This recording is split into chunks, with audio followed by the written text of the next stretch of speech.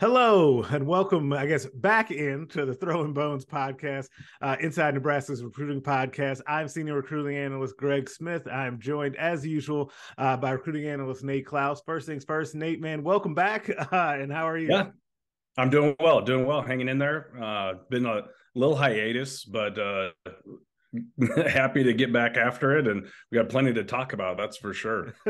Yeah absolutely yeah. Since we like i feel like you know since we've been gone like, there's been quite a few things um that have happened uh but we'll kind of fast forward and kind of jump into kind of the matt rhule era like it, it is here. Um it is like very hard to like wrap my brain around that it has only been a week since that Matt Rhule introductory press conference, what I like to call a Matt Rhule day, uh, where they did kind of that uh, unity walk with Rhule, and then kind of went into kind of the, the big press conference and had people talk afterwards. I guess I, I want to start here with you because we haven't, you and I have not really talked about this, though we've talked since the hire has been made. What were your first impressions of that day and kind of bringing Matt Rhule in?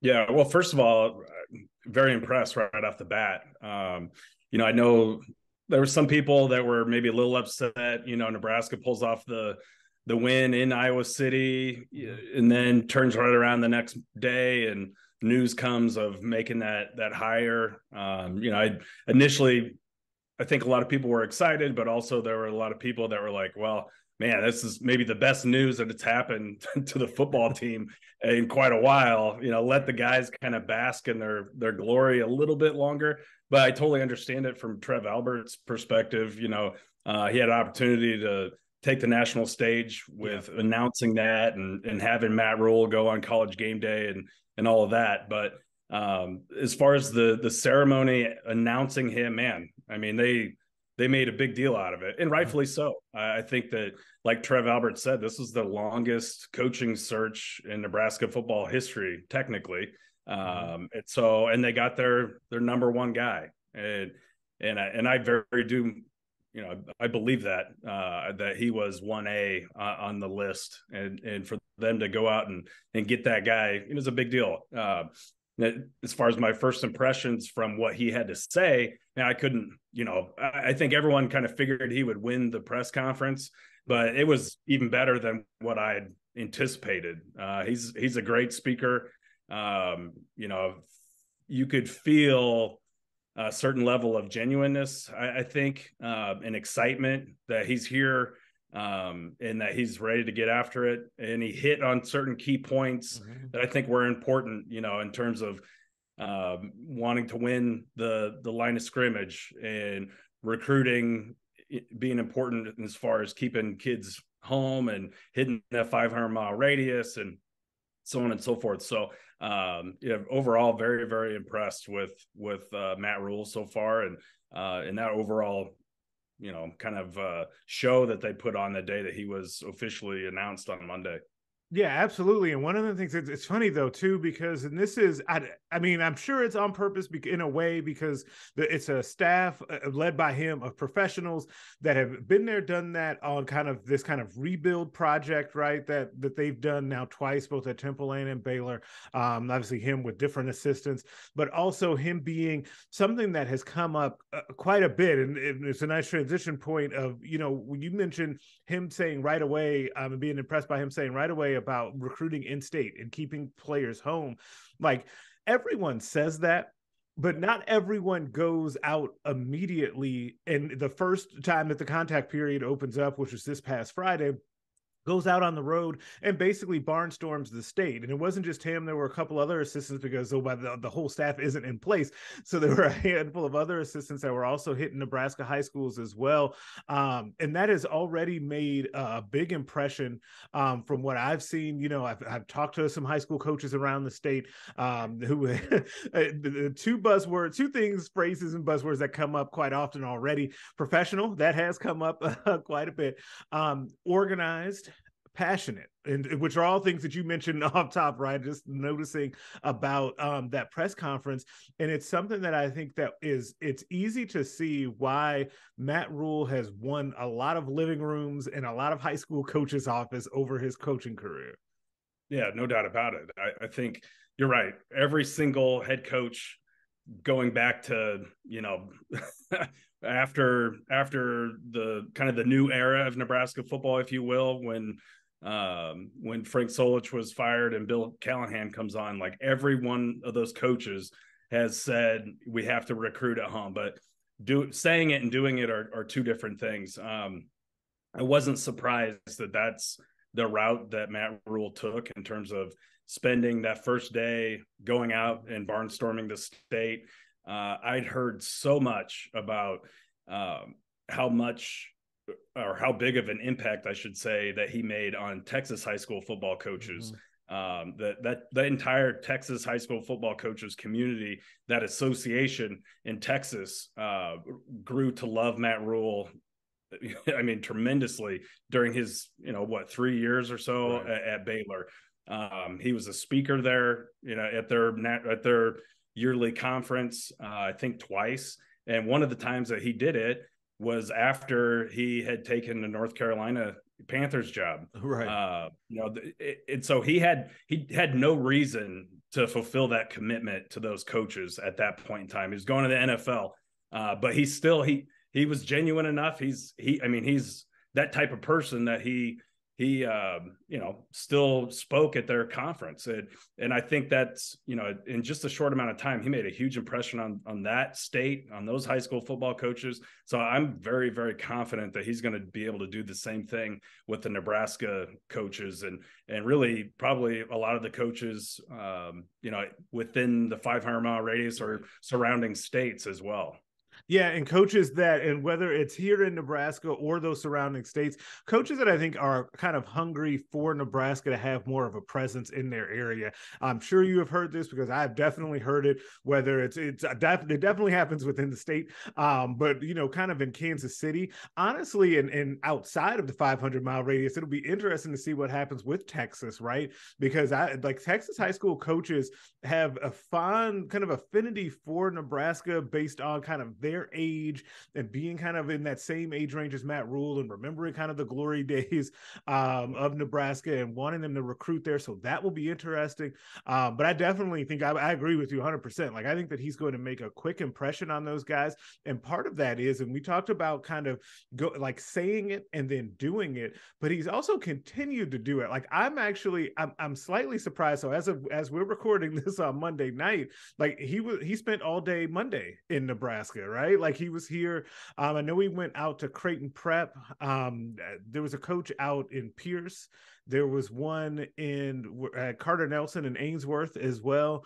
Um, and so they're still doing it. they, they did not do it for one day, pay lip service, and then jet out to, you know, insert their new spot, whether it's going to be Texas or, you know, spot recruit in Florida or out on the East Coast. Um, I think that that's going to pay off.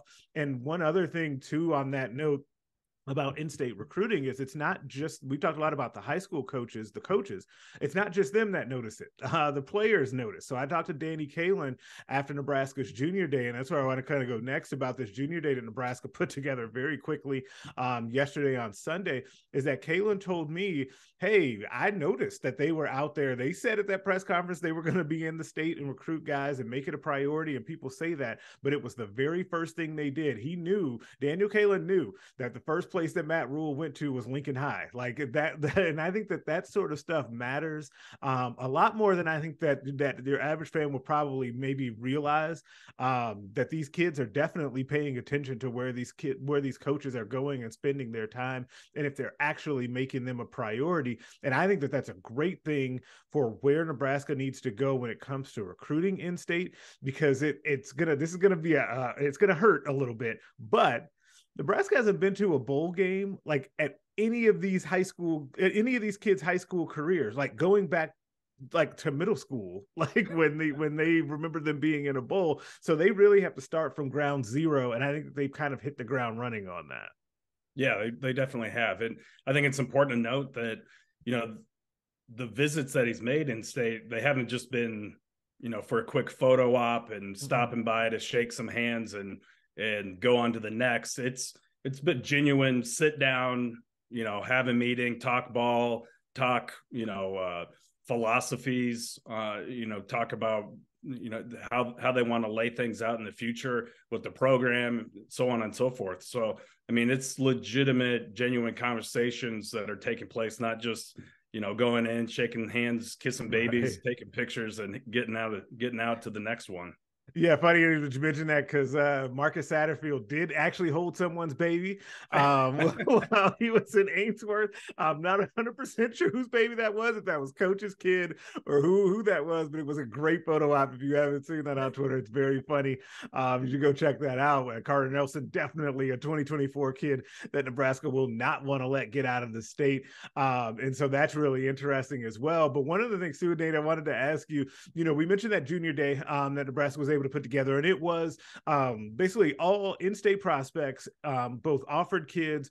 Um, they got they were able to get some commits back in town too that that are kind of local as well. But I gotta want to ask it this way to you because these transitions uh, are very hard. Like there's a lot going on in these transitions. How impressive is it to you that they were able to even put together a junior day uh, wasn't a week it was six days uh, with matt Rhule being in, in lincoln yeah, that's. I mean, I, you can't put into words how uh, difficult planning something like that uh, is.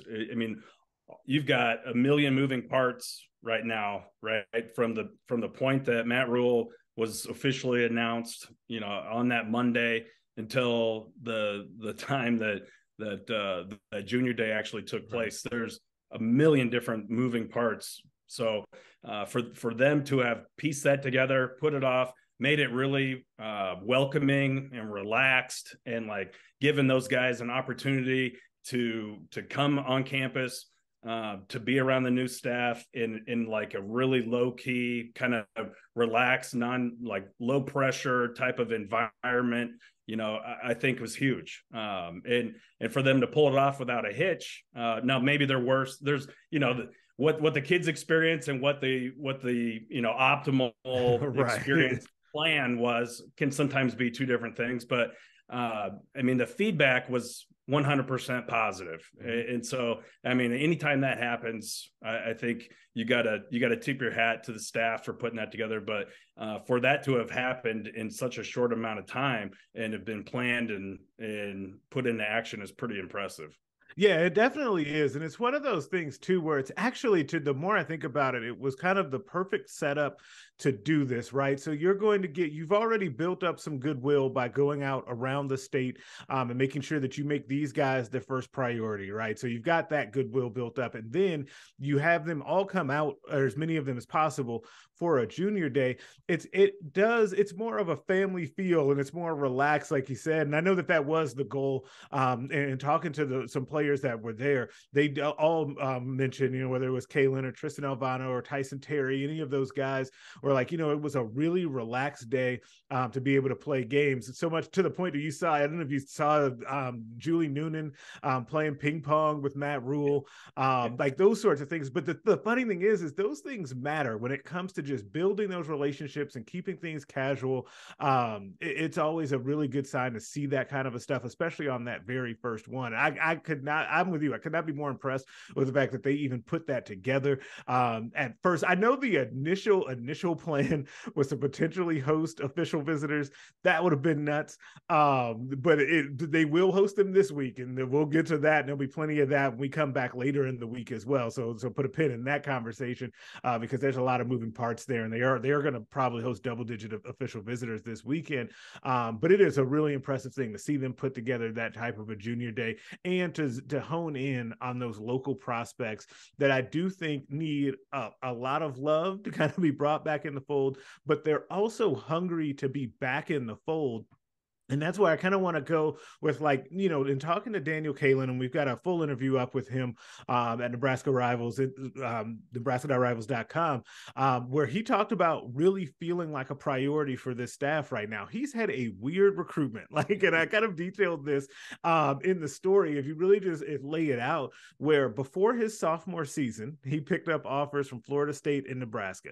So everyone expected, oh, here comes the, the next big thing, right? Well, he didn't go out necessarily played that well during his sophomore year. He kind of split time um, with another quarterback as they Bellevue West made another deep run um, in the state playoffs and didn't ultimately win it. Um, but to his credit, and I give him a ton of credit for this, Kaelin, he went to work um, between his sophomore and junior season, and he got a lot better.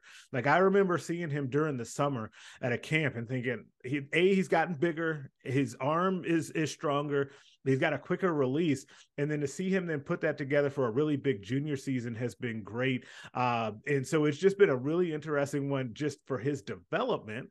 But then in his recruitment, he gets that offer from Nebraska and then they basically ghosted him under the previous previous staff i guess i should say. Then when yeah. mickey took over he becomes kind of more of a priority and he comes to a couple of games you know like okay it's rolling but then that staff is basically let go insert matt rhule and he told me that matt rhule the very first conversation he had with him said i'm making you a priority. I don't want you to leave the state and i want you to be at nebraska. That's a huge deal. Yeah it's a huge deal. Um and for for someone to say that and show you that they're wanting to follow through on that mm-hmm. is is very very important because um, you know when you when you offer somebody that young uh in in contact is limited uh, mostly really whether yeah. unless he's calling the staff it's it's limited to whether or not he's making it to campus right, right. Uh, because when you're a sophomore in high school i mean the coaches can there's there's limits on what they can be um, or how that how much they can be communicating with you so um, for him to be on campus the first weekend that Matt Rhule is here, for Matt Rhule to tell him, "Hey, I'm making you a priority. I don't want you to leave the state." Um, for him to come to a junior day and not necessarily like be talked at, um, you know, it's not like there was a hundred kids in the room and and each coach got up in front and right. you know addressed the crowd and talked at them and and then okay, thanks for coming. You know, shake the hands and on your way out. It was you know it was very low key, uh, very relaxed, talking with Daniel Kaelin and like yep. starting to build that relationship. Uh, that is that is key, and and I think that that's really going to pay dividends uh, down the road, and and it certainly made an impression on him too.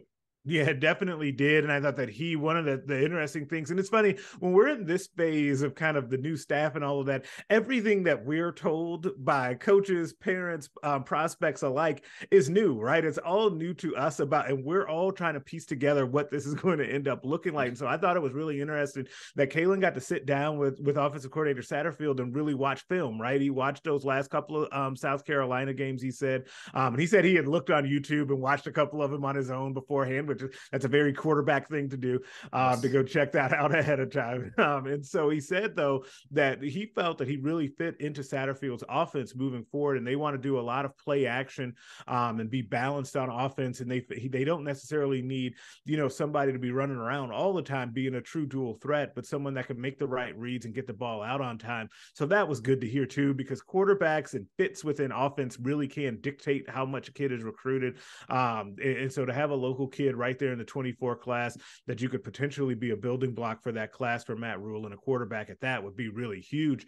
Um, and so we'll kind of see where that goes. I think things are trending in the right direction um, with Kaelin, but uh, moving forward, you know, uh, next steps for this staff, like they're on the road right now trying to scour the country but i guess what are the next steps that you see for i guess week two uh, for the staff here during the contact period yeah well first of all let me just say I'm I'm impressed by um, you know the the types of of coaches that that Matt Rhule is putting mm-hmm. together. You can tell he wants young, hungry recruiters out there.